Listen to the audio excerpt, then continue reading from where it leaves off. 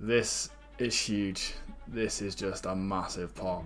I'm go whoever wins this is uh oh come on, don't put a queen out there. Yes! Oh no! Hot! Oh no. what is this? This is mental. Please. Tens. Come on, no 10 or 7. Oh, no 10, 7, 8. Please, this could be absolute. This is. No. Honestly, threes is actually the sort of hand that you can shove. Quite often, the lower pocket pairs do work okay as a shove. I'm actually just going to call this time, to be honest. You know, with ICM in play as well now. Um, I'll go for a raise here. I don't actually need to go too huge, to be honest. Like, he should fold out his, you know, his, his ace tens and other ace x you know, he's going to fold out most hands unless he's got like a obviously a queen pocket pair or sort of a real premium, you know, ace king probably isn't going to give up that easy flush draw. But in general, uh, just a little raised size like that is going to be able to fold out sort of most hands that he opens. God, I've literally been getting absolutely no action on this table. See a bit of action here. Ace Jack, oh God, Ace Jack is in very bad shape. Needs run a runner. There is the one. Is he going to get a second? That would be a horrible, horrible way to, uh, well, he wouldn't go out, but horrible way to lose the hand. I mean, obviously, Dominguez is a very good player, but I wouldn't like to see aces lose to ace jack, to be honest with you. This is just getting ridiculous now. Like, I have not, I, like, I just, I'm not getting any hands. Finally, I finally get a hand. I am going to min raise, but honestly, sometimes like you're probably supposed to min raise, but it could look like weaker if I just kind of shove this or maybe put like four, four, five big blinds in rather than just min raising.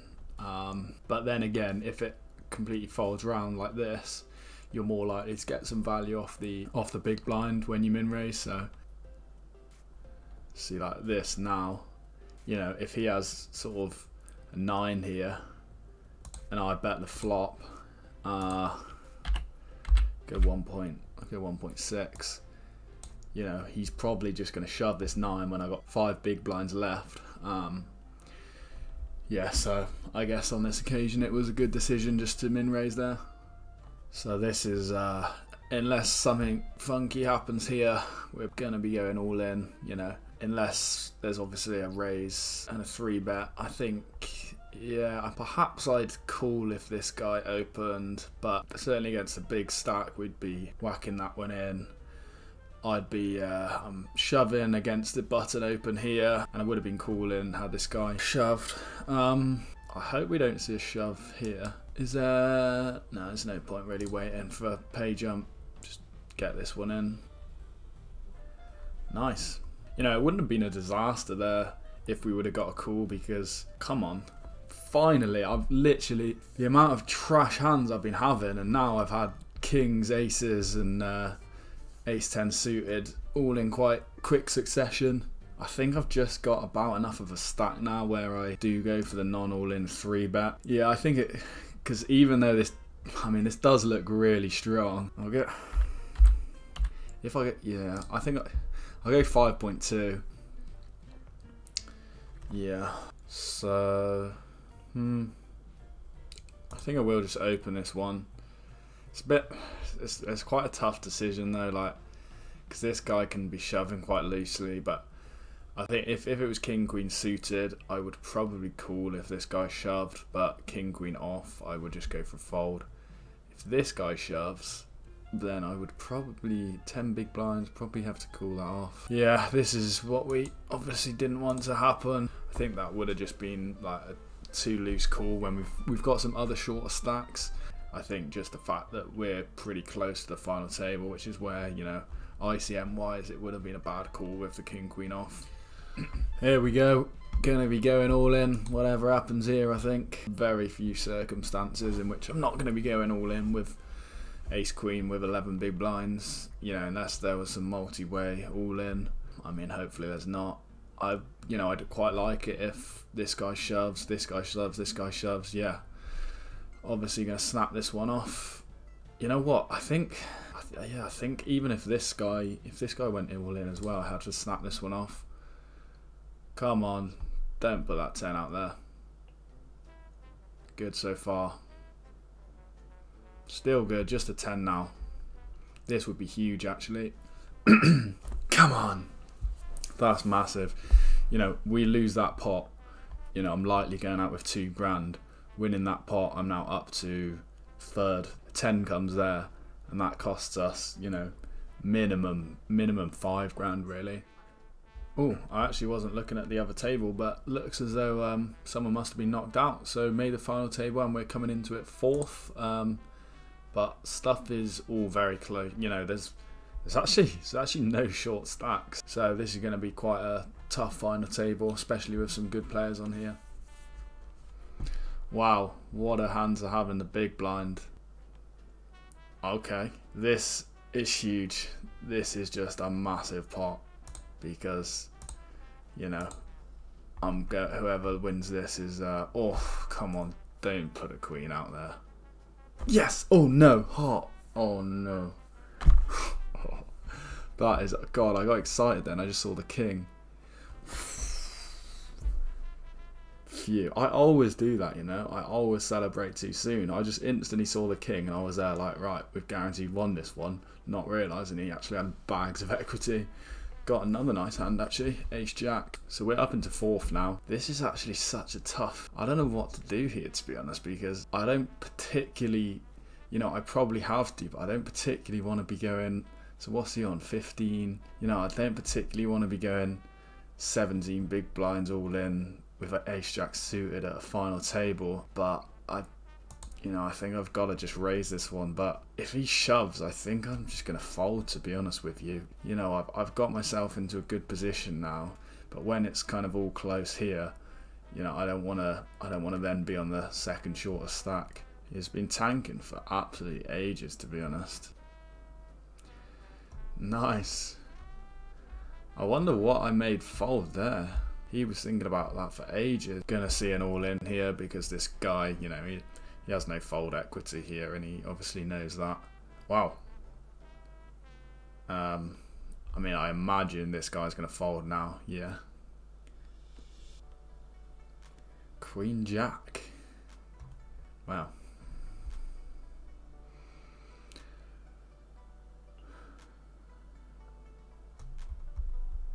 So Queen Jack does win it. Um, see a fairly big bet on the turn by Simon, and then just a shove from Juan Dominguez. Perhaps Simon's on like a, well, we'll see now. 10 9. Wow. 10 9. He's got absolutely bags of equity there. Yeah, and he does get there. Eight for a pay jump.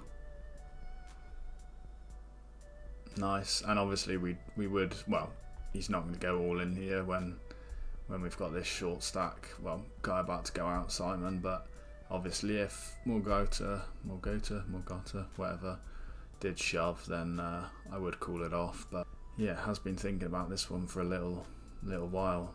Wow, so that is a, a weird one. To be honest, I'm like it. This obviously could be aces or kings, but I'm just gonna be shoving this one. Ace king, yeah. Okay, we hold so far. Okay, I mean, that guy gets it, but as long as there's not an ace or king. Yes! Wow, that's a rough one for him. Simon somehow manages to get a pay jump with zero big blinds. Jack 4. Gonna open up ace 9. You know, in a weird situation here, we've got all of our stacks are very sort of similar, big stacks, and then we've just got the one one short stack here. Uh, if he shoved, I'd yeah, maybe I have to call this ace 9 off actually. Um, gonna check this flop back. Yeah, I'm not gonna do anything on this board. You know, we've still got showdown with the ace high, and there's there's no point bluffing. We've just got very little equity here. Easy fold. Will we see a call from from Namst here? He's been calling pretty loosely, so it wouldn't surprise me. Cool. I mean, nines isn't too loose, but wow, I cannot believe this. How this guy's come back. He was on. He was literally on zero big blinds, and now he's come back from that. Like that is just a crazy comeback. So we have an easy open here with a six suited. Obviously, don't want to be three bet.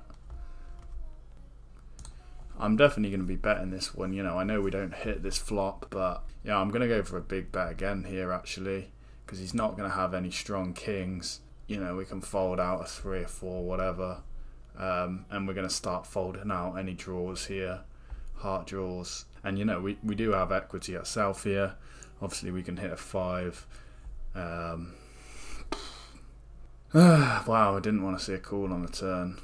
I probably shouldn't be betting this. You know, I, I don't have a heart. That is the problem. But you know, I think he leads out with his hearts. That's the thing.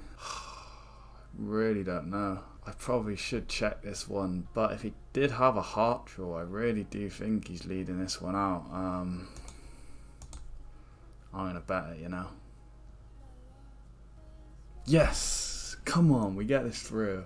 That's huge. You know, that was just a pure gut play. The way this guy's played and the river, you know, seeing how the hand was played, I think it would have just let out. So in the end, yeah, just make that huge river bluff, and now we're joint top with all the others basically.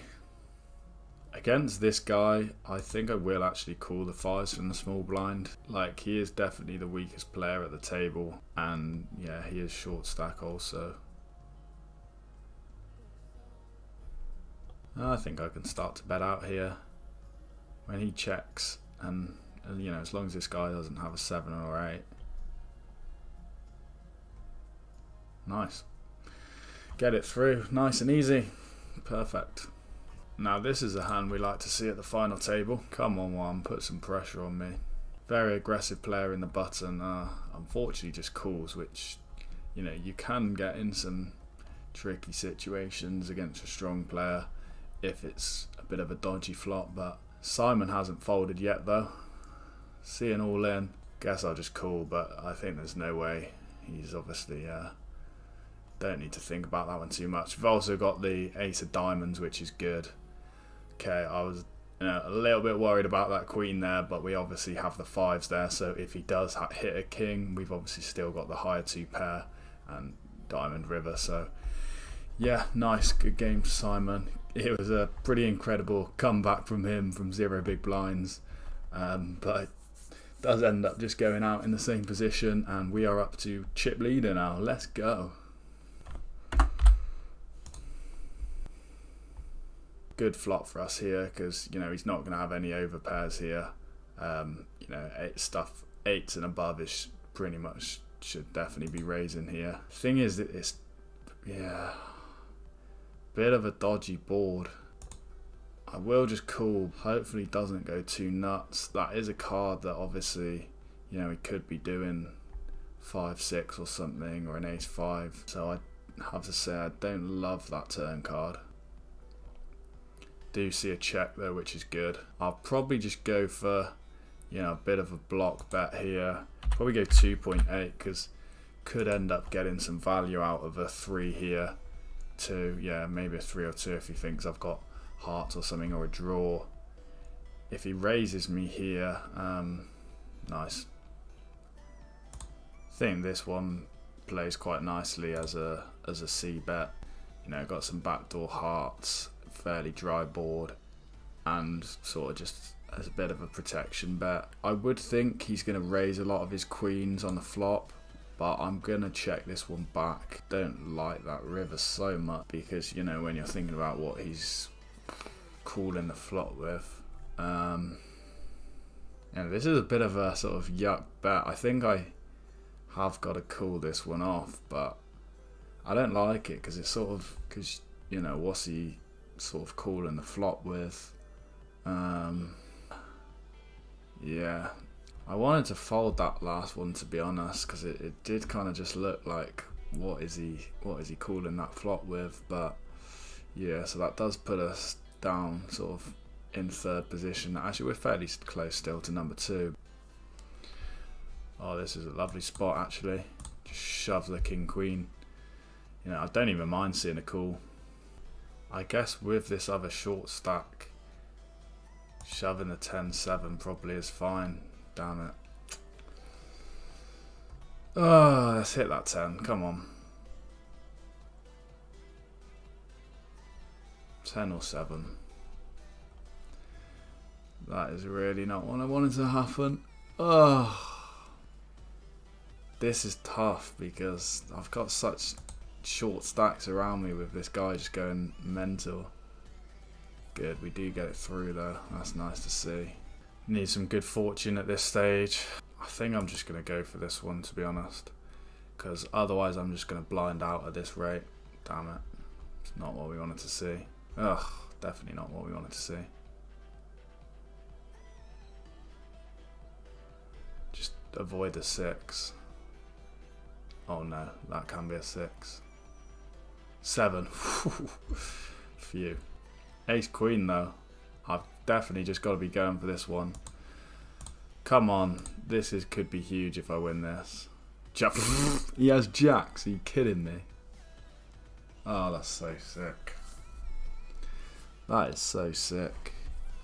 How does he have jacks?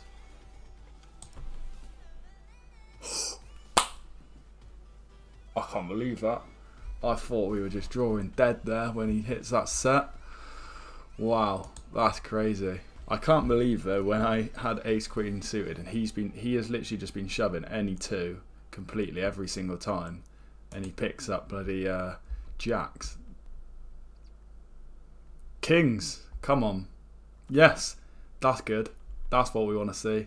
God, is Roman really? Oh my god. What is this? This is mental. Please. Tens. Come on, no 10 or 7. Oh, no 10, 7, 8. Please, this could be absolute. This is. No. No!